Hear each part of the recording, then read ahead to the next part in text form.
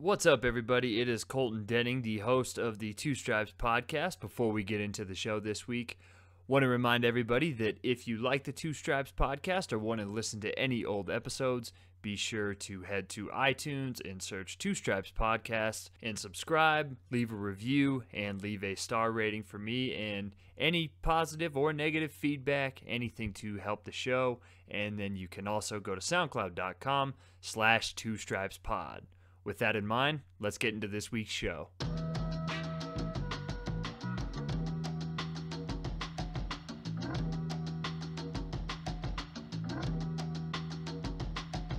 What's going on, everybody? Welcome into the Two Stripes Podcast, the podcast for you, the college football fan. My name is Colton Denning, and I am your host, coming to you on Monday, May 15th, 2017, from Boulder, Colorado. Think I got a fun show for you guys today. It's a little bit shorter than some of the other ones have been, but I think just as informative and one that you will enjoy just as much. Last Thursday, I got the opportunity to talk to the managing editor of BringOnTheCats.com, Jon Morse, about everything Kansas State football. Now, for a lot of people, Kansas State football is probably something that's a little bit off the radar, maybe even a little bit boring. Kansas State has always had that reputation under head coach Bill Snyder of being the cliche, quote unquote, blue collar program. But there's a lot of fun stuff going on with K State. They've been one of the most consistent Power Five conference teams in the country over the last five or six seasons. And now that Bill Snyder's career is kind of coming to an end, or at least getting near the end, there's a bit of a battle inside the athletic department over who is going to fill that void, whether it's going to be his son Sean or going to be somebody from outside the program. So I talked with Jon about that at length and how much of a story this has been for Kansas State fans over the past few seasons and some of the other candidates for that job once Bill Snyder decides to step down, whenever that may be. Other than that, though, we talked about the 2017 season, why Kansas State is poised for another nine, maybe even 10 win season, and whether or not the Wildcats can win the Big 12. So let's get right into it. Here is Jon Morse of BringOnTheCats.com. To join me to talk all things Kansas State football is the managing editor of BringOnTheCats.com, Jon Morse. Jon, what's happening, man? Not a lot. Thanks for having me. Yeah, thanks for joining the show. So, Kansas State seems like it's a program that always flies under the radar. I know it's it's cliche, but under Bill Snyder does everything blue collar. It's a program that's consistent. They've won 9 games now in four of the last 6 seasons. But as the offseason's gone on, there's been some unfortunate news recently with with Bill Snyder in the last year and him battling throat cancer. Good news, he beat it, but 77 years old. And this week there was a pretty fascinating story from Dennis Dodd of CBSSports.com about the perceived battle going on within the Kansas State Athletic Department over who's going to take that mantle next from him. And, and before we get into the specifics of that, how much of a story has this been amongst K State fans? And are people prepared for this? Is this something that you think could get pretty ugly, or, or, what's the general feeling about this from Kansas State fans? From our perspective, you know, this is something that we've been churning over for really four or five years now. And a lot of what Dennis Dodd said in that article is stuff that we already knew. One of the biggest points of contention between Bill Snyder and John Currie over the last few years has been the succession plan because, you know, obviously Curry wanted to move on to a bigger, better job from his perspective. And the one big thing he really felt he needed to have a chance to do to make that happen is make a big hire to replace Bill Snyder, especially after a lot of people would consider blowing it with Bruce Weber. And Bill has made no secret now for several years that he wants his son to succeed him. But there are a lot of people who have problems with that, both from a an ethical perspective and a and a technical perspective. When I say an ethical perspective, I don't mean that, you know, it's a horrible thing for Bill to want Sean to succeed him, but it, it's bad optics when you're talking about somebody who has never even been an offensive coordinator or a defensive coordinator at any program. Sean has spent his entire professional career in Manhattan as an assistant coach for special teams or director of football operations. Now, as director of football operations, obviously, he picked up a great deal of, of experience doing things that are involved with running the program.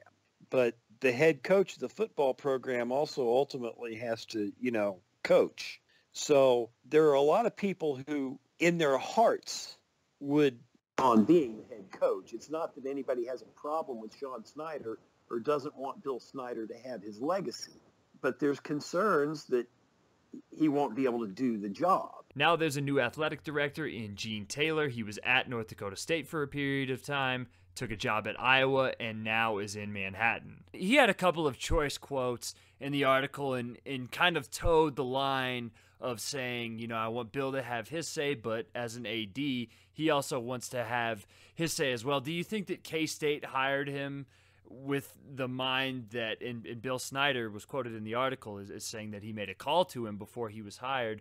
Do you think he was hired with this in mind that maybe he'd be a little more lenient in that regard of, of bringing Sean Snyder on after whenever Bill Snyder decides to leave? Knowing what we know of the people involved and their personalities and, and how they behave, I strongly suspect that what Bill wanted was an assurance that Sean would at least be seriously considered.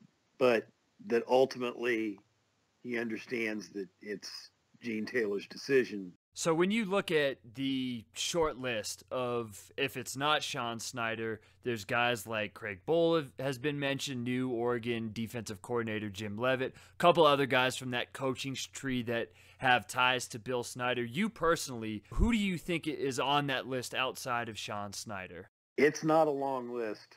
I'll tell you that. Bohl would definitely be on it. Leavitt is obviously on it. I mean, there is a reason why he's got that clause in his contract at Oregon, whether it's just because he wanted it there just in case as, as a, hey, K-State, I'm here if you need me, or whether something's been said to make him need to have that clause. We don't know. But And the, the other name that you didn't mention that everybody wants to talk about is Brent Venables. Yeah.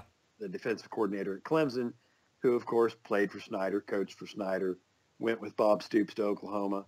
There are some people who don't like Brent because he went to Oklahoma with Bob Stoops and some other things that we don't want to get into because they're rumor. But he is probably the best candidate in terms of what he's accomplished and taking into account.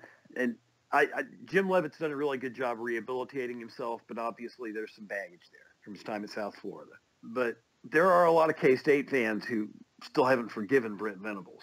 So there's baggage there. With Craig Bohl, there's a perception that he picked up the luggage from a steamrolling North Dakota State program that was already primed to move up to FCS and simply kept the momentum going into what they became and then went to Wyoming and started to struggle. Although, to be fair, what happened in Wyoming last season makes you think, hey, maybe he is a guy. Yeah, especially with how he's been able to develop his quarterback there, who may end up being the top or one of the top quarterbacks taken in next year's NFL draft.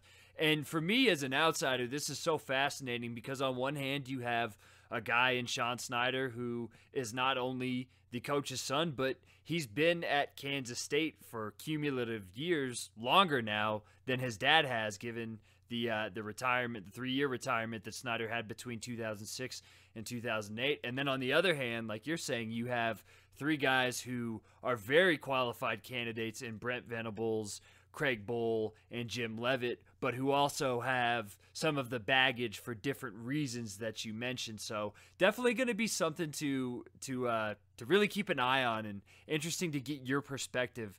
Another interesting thing about this that I did want to bring up is you know, there's a perception out there in the wider college football community that K-State's dead when Snyder's gone.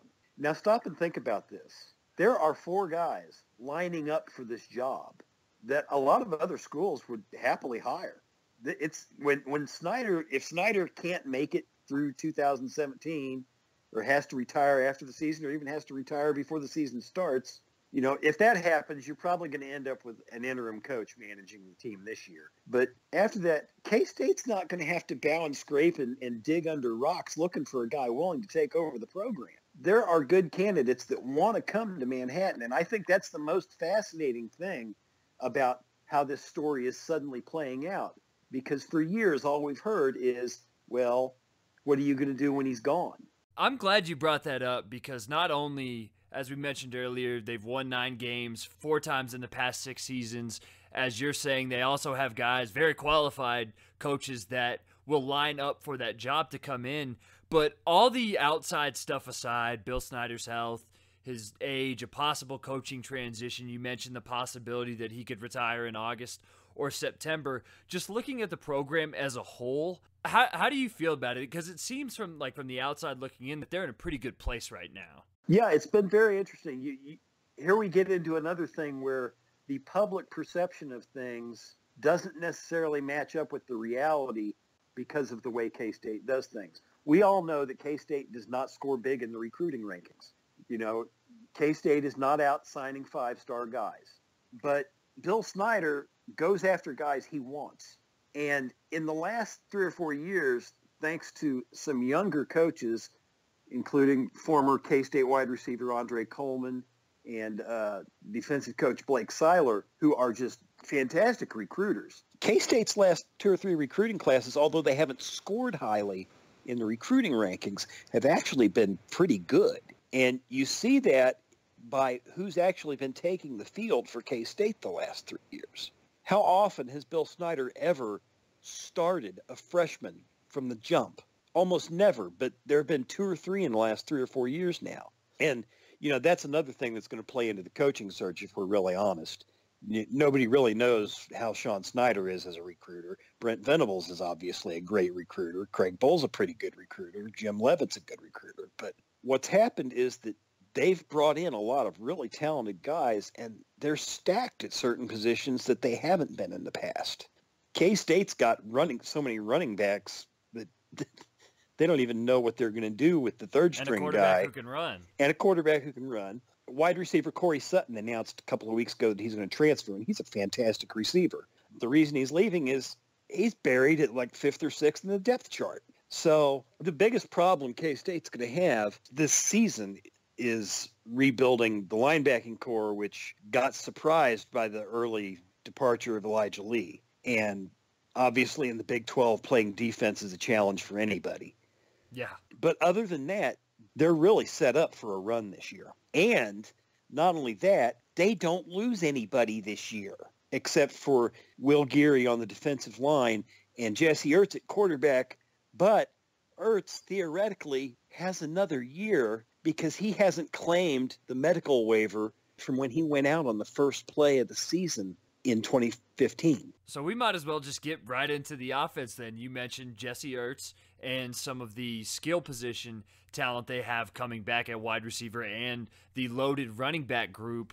And last year, it seemed like they started really slow, and the last six games of 2016, the offense put it together. What do you think the key to that continuity is heading into 2017? Well, first off, uh, and this is no secret to anybody who even pays half an ounce of attention to the program, K-State's always an excellent team with a second-year starter at quarterback. Snyder's system is hard to pick up, but once you've got it, you can excel. Now, Jesse Ertz, the reason things picked up for K-State early in the midseason last year is because Ertz had already had two years in the program and one season where he had been basically training to, to start before he went down with an injury. So his pickup time at actually physically running the offense was shortened. And now here he is. He's got a year of actual experience, two years of functional experience, and three years of, of book experience. So we're not expecting any problems behind center. Ertz is known more as a runner and a pretty damn good one at that. And to start last season, in the first nine games of the season, he only had two games where he had over seven yards per attempt, and that was against Florida Atlantic and Southwest Missouri State. But in Kansas State's final four games, he exceeded that threshold to end the season. now in his second year, as, as you alluded to, that improvement that we've seen in Kansas State quarterbacks, what do you expect from him in terms of passing development and the offense overall in the passing game from a group that finished 99th in passing S&P Plus last season? How big of a jump do you think that they're going to take? I think you're going to see a sizable jump for one very big reason. A lot of the improvement in the passing game, or another way of looking at a lot of the problems with the passing game early in the season, was simply a lack of um, chemistry between Ertz and a bunch of guys that didn't have a lot of experience playing Division One wide receiver. What we saw on film as the season went on was the receivers got better at running their routes. The receivers got better at holding onto the ball when it hit them. So Ertz was not necessarily the problem early in the season. And now those receivers, with the exception of Deante Burton, who wasn't a fantastic wide receiver, but he was steady and, and competent and a rock for the unit the other guys all have another year too. So it's all steamrolling. Ertz went over a thousand yards rushing last season and was pretty explosive in doing so. Uh, last question on him: Where the hell does Kansas State find these quarterbacks? You know, it's not like Jesse Ertz was some guy that they pulled out of a closet somewhere. He was the all-state quarterback in Iowa his senior season in high school. So, you know, obviously he was a good player that people were noticing. But again, you know, he, he wasn't that he wasn't that big. And then by big, I mean workout big. And that's the thing K-State actually is really good at doing in the recruiting level is they'll find guys who may be a little bit undersized and get them in the weight room. And then all of a sudden, you know, you've got a bowling ball like Will Geary on the defensive line who just, he's a boulder.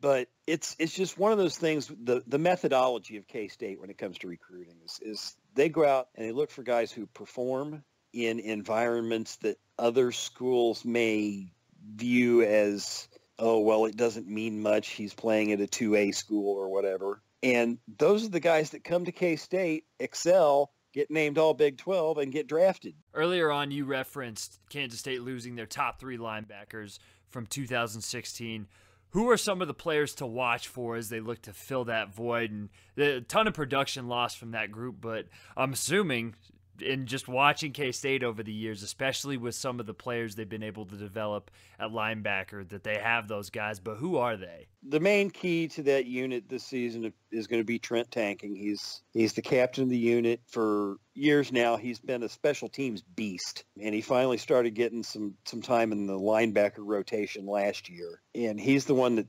has stood out the most. The rest of it is still really up in the air the guys are playing well, but nobody's really reaching out to grab the horns, so to speak.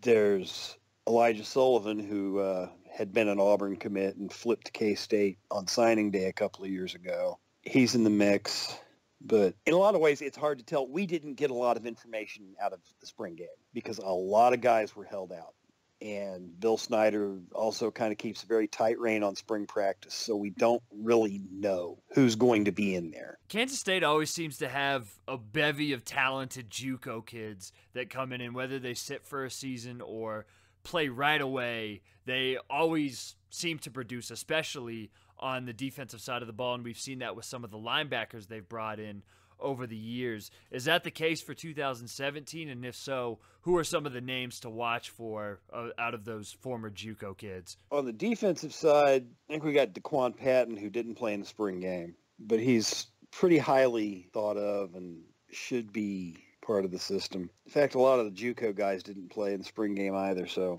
it's like I said, it's it's really hard to talk about what's going to happen until we get into fall practice because we just don't know. It's it's been kind of under wraps. So shifting into expectations for 2017 based off of what we do know in the players that are coming back how likely do you think it is that kansas state has another nine win season? And does kansas state have a legit shot at the big 12 title this year? To the first question i think it's almost a certainty that you know at worst they'll end up nine and four. They may have you know eight and four with a bowl win or nine and three with a bowl loss or whatever but yeah, I think there's a legit shot that if they can get past Oklahoma, which, you know, has been a bit of a problem in Manhattan this decade, but that's one of the strangest situations that's been going on the last few years is until last year, neither team had won at home since 2010.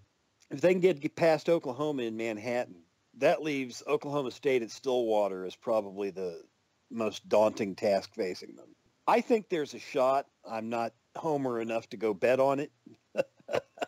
if the linebackers come together and perform at a even just an acceptable level, the raw improvement on the defensive line and the defensive secondary should be enough to keep K-State back at the top of the Big 12 defensively. And again, that second year starting quarterback situation in K-State, especially when K-State really lost nothing on offense other than Deante Burton, is going to surprise some people. Well, Kansas State always seems to be in the mix, whether they are at the start of the year or like last year where they finished the year strong, and it'll certainly be fun to watch them again. I know I always like watching them come up and nip everybody in the ass and make a run at the Big 12 title game. And if you want to keep up to date on all things Kansas State football, you can do so by going to bringonthecats.com and finding all of Jon's work there. He is the managing editor.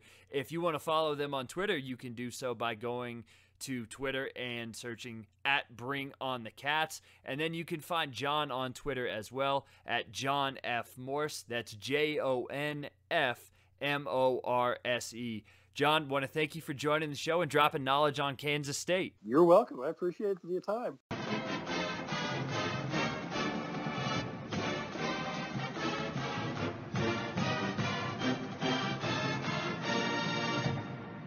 Big thanks to Jon Morse for joining the show. And of course, make sure to check out bringonthecats.com when football season rolls around. It will certainly be a fun season for Kansas State and to see if they can hop up into the mix again as a contender in the Big 12 and possibly even sneak by and win the Big 12 this season. That game against Oklahoma at home should be a lot of fun. And following the Bill Snyder storyline as well should be very interesting. I, I, thought it was surprising that both Dennis Dodd in that article we referenced and Jon talked about the possibility of Bill Snyder stepping down in either August or at the beginning of the season. And if that happens, Kansas State will be in a very weird position, and you would assume that Sean Snyder would take over the role as interim head coach, and that would act as his audition for that job. So the news around Kansas State football this offseason may increase yet. We'll have to see once we get into August and September. That's it for this week's show, though. I am headed off to Austin, Texas to go visit my brother and spend the week down in Longhorn country. Hope to drop another pod later this week, maybe even stay in the Big 12. But if not, want to thank you guys for listening to this week's episode of the Two Stripes podcast. And you can go to iTunes, search Two Stripes podcast, find all the old episodes there, like, review, subscribe, leave feedback all of that good stuff there and then go to soundcloud.com slash two stripes pod. Can also find all of my work there. And follow me on twitter if you're so inclined at dubsco. Hope everybody has a good start to their week. Hopefully i'll talk to you guys later on this week. But until then my name is colton denning and this has been the two stripes podcast